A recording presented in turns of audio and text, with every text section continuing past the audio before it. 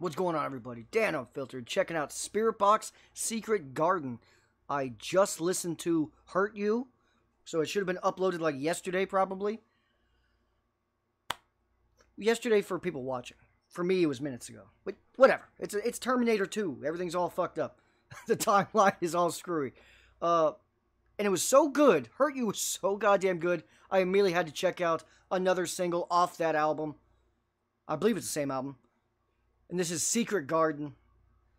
Let's do this. Hit the like. Hit the dirty little notification bell.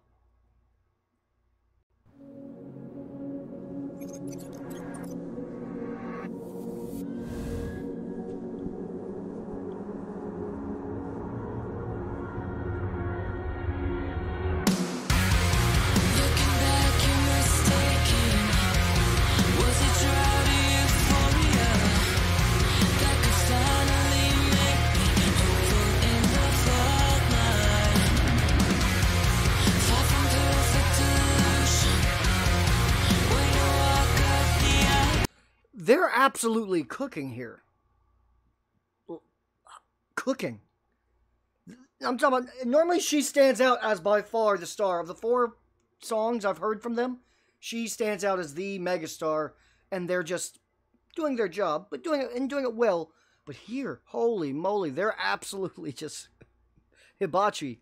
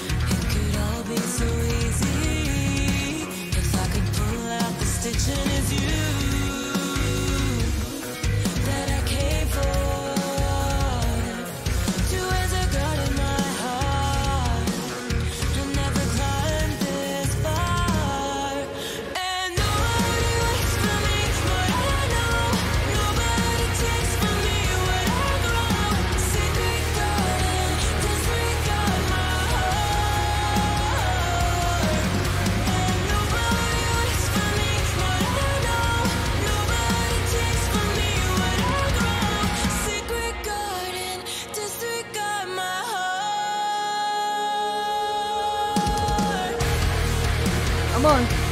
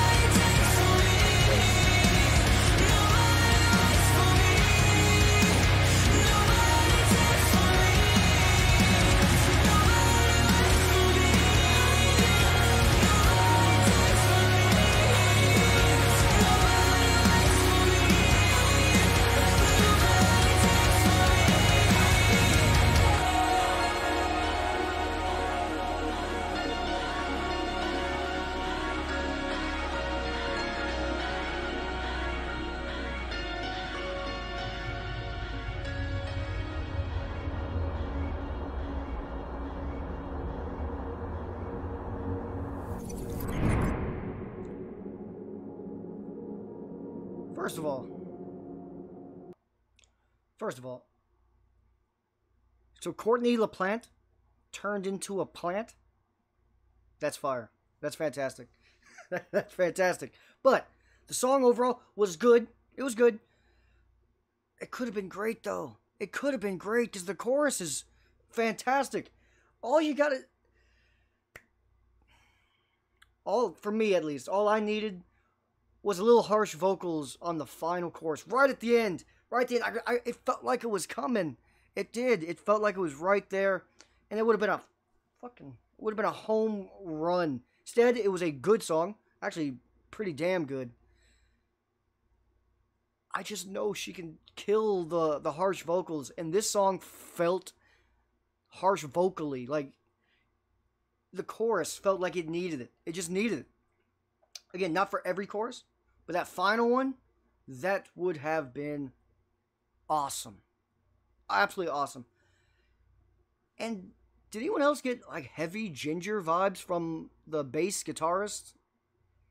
That that it sounded very Jinjer, like the way it was they, they were tuned or playing it. Extreme Jinjer vibe vibes there. They probably go on tour. Who knows? That could be part of the correlation. But yeah, good song. I liked it. I just wish it had a little more of her harsh vocals here. This song literally felt harshy. You know what I mean? Like it, it needed that little sprinkle of spice on it. That's all. I will say though, she's one of the weird singers that I don't know which she's better at. Harsh or cleans. Usually one or the other is the person's strength. That's just usually how it works. Uh, Jinjer, for example. Oh man, a beast, absolute beast. Tatiana, I believe is her name. Harsh, she is an absolute goddess at untouchable. Cleans, she's good at, but nowhere close to as good as she is at the harsh. You know what I'm saying? Courtney, I actually don't know which I prefer. She's very good at both. That's all I'm saying. Not sure. It's kind of Corey Taylor esque, where very, very, very good at both. Which is why I fucking needed a little harsh at the end there, man. It low key broke my heart. I could probably you could probably see the moment my heart broke on the video. Right before the last chorus. I could feel myself sigh. I'm not sure if I actually did. But my heart low key broke a little. Because I was so ready for this to turn just turn up. This song to go up a few notches on the all-time list. But let me know what you guys think down below. Hit the like. And if you think I'm an absolute buffoon for thinking it needed harsh vocals at all, and this is a piece of perfection, then that is fine. Let me know in the comment section. And if you are still here, then you are a real one.